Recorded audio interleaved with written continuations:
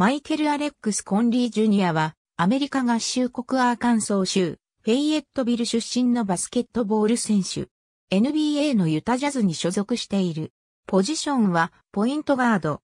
185センチメートル、79キログラム。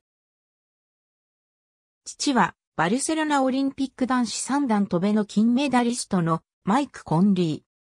三段跳び金メダリストの父と、元 NFL 選手のスティーブ・コンリーを叔父に持つスポーツ一家で育った。少年時代は、父の指導のもと、後に高校と大学を共にする、グレッグ・オデンと共に、バスケットボールに励んだ。高校は、ローレンス・ノース高校に進学。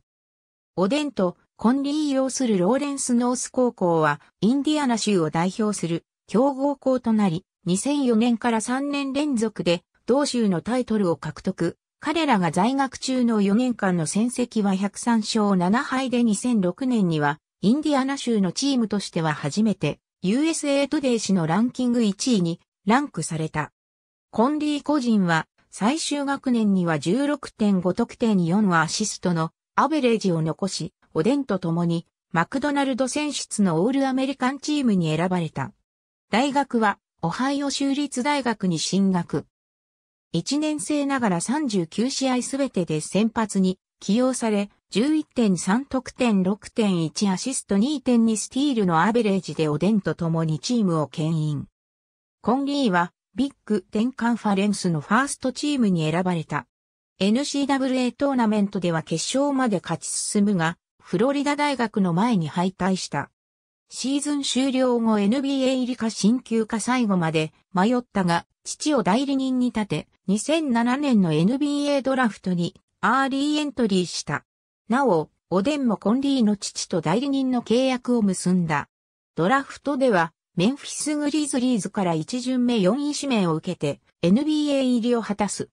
1年目の2007から08シーズンは、積極的に先発に起用され、9.4得点4.2アシストと、上位指名ルーキーとしては、まずまずの成績を残したが、29試合を欠場している。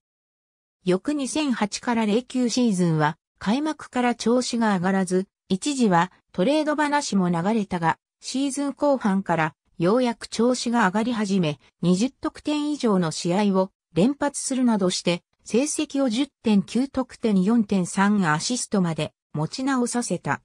その後も順調に成績を伸ばし、マーク・ガソルと並ぶグリズリーズのフランチャイズプレイヤーとして君臨。2016年7月2日には5年1億5300万ドルのマックス契約でグリズリーズと延長契約を結んだ。しかし、新契約を結んで挑んだ2016年11月28日のシャーロット・ホーネッツ戦で脊髄を骨折する重傷を負った。